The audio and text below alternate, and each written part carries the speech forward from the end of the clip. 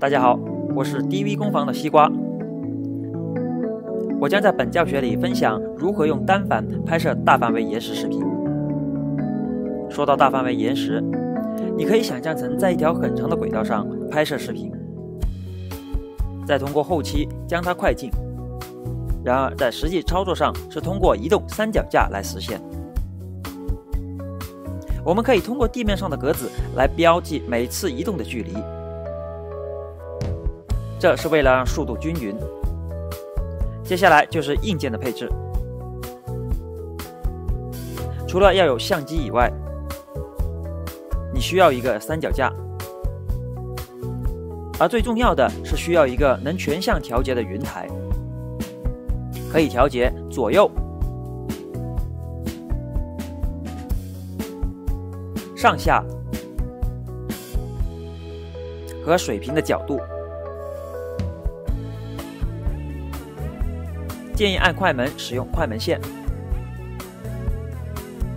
可以避免按机身快门时产生的抖动。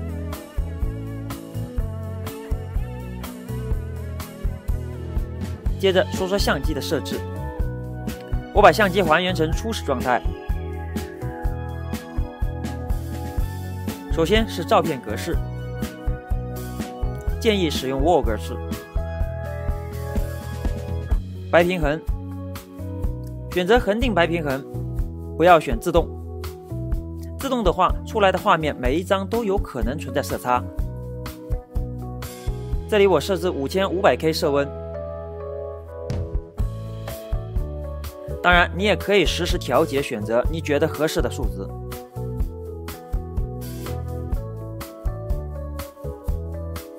不过只要你是设置恒定色温，后期批处理也是可以修正的。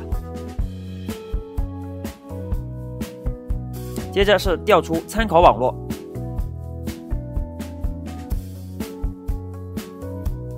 参考网络是方便你拍摄时定位的，同时回放的参考网络也要调出来，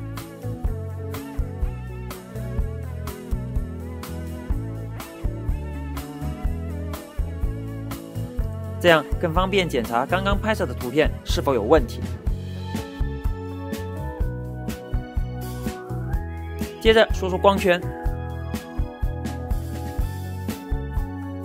建议光圈不要这么大，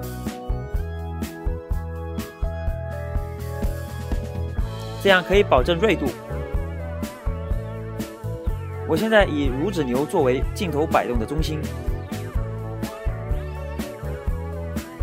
首先确定下对焦是否正确。我以牛背尖作为每张图片对准的基准点，先调整水平，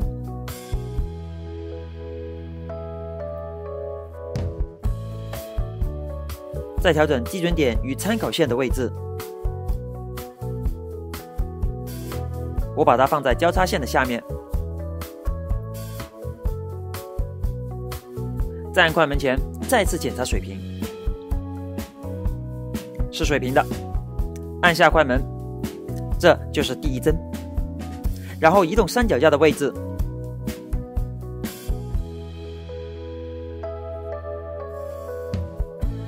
接着拍第二帧。可以看到，由于移动的位置，它已经不水平了。调节云台，使其水平。好的，水平了。然后调节左右。让牛背尖回到交叉线下面，最后再按快门前再次检查水平。第二帧完成，我们来看看跟上一帧是否连贯，还行，继续下一帧，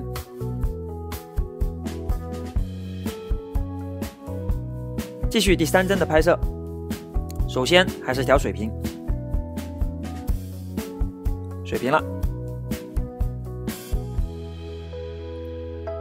调节左右以及上下，让牛背肩归位。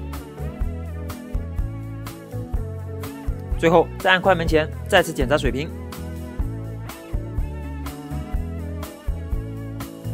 第三帧完成。最后看看这三张图片的效果，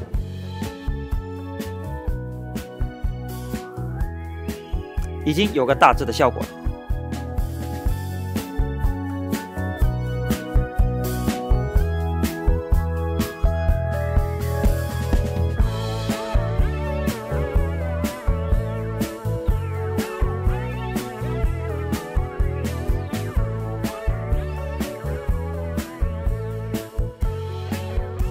下一节，我将谈谈关于选择基准点的常见方法，持续更新，敬请关注。